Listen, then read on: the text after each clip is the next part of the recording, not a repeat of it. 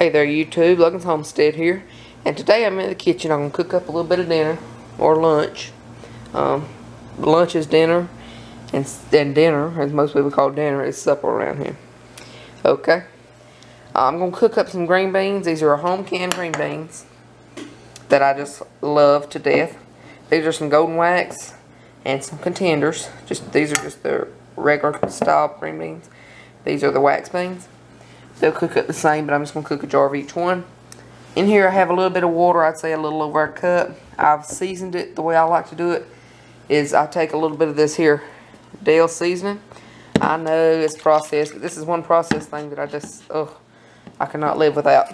But I do not like processed stuff, but I do buy that.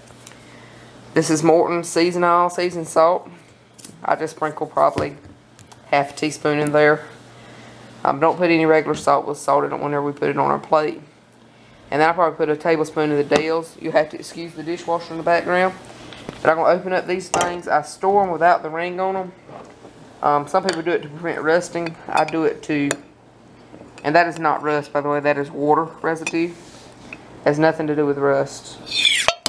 See that? Did you hear that? That's a good seal. I like to do it on both sides and leave the pops right off. Make sure the lid is clean. And always give it a sniff. And it smells like what you canned, then you're good. Just pour it in here. I don't like to strain the juice from beans. Um, sorry for the lighting because the island got moved over. We moved the island over and uh, the light's not centered right above it. And I'm sitting here blocking the light. Open like that. Lid's good. Smells good. These are just two pint jars, or we can them in pints. I wasn't thinking whenever I done them like that. But, um, okay, that's what we have now. I'm just going to bring this over to the stove.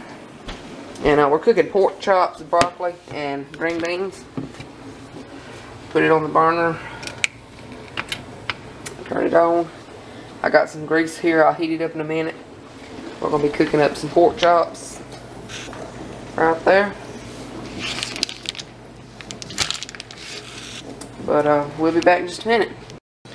I do not work for this company, but uh, I will leave a link. Okay, I'm going to make tenderizer. This is the seasoned kind. They have unseasoned as well. I prefer to use the seasoned. It gives it a good flavor and it helps tenderize the meat a little. Um, I do both sides really well. Um, press it down in there. I have my oil heating up on the stove.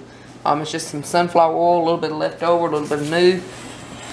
I'm just going to use some Morton iodized salt. Iodized salt, not much. Well, this salt does not supply iodide. Morton salt. Uh, supposed to be iodide, but it ain't. Coat it really well in the flour. You could dip it in egg wash.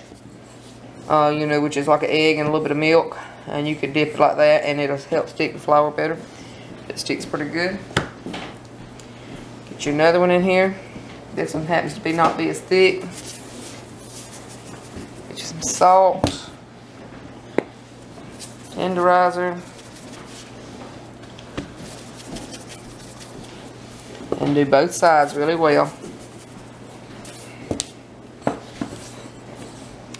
Coat it in the flour, just like so.